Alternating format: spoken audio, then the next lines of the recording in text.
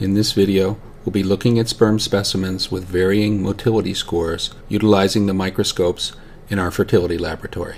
As we zoom in on this specimen with more and more magnification, we can see that the sperm motility is pretty good. Most of the sperm are progressively motile. Sperm motility scores represent the percentage of sperm that are actively swimming in a forward direction. Low sperm motility is a common cause of infertility. This specimen shows both a good count and a good motility. Here it is at higher magnification where we can get a better idea of the morphology or shape of the sperm cells. This specimen demonstrates both a low count and a low motility. There are many immature sperm forms present and the progressive motility is poor.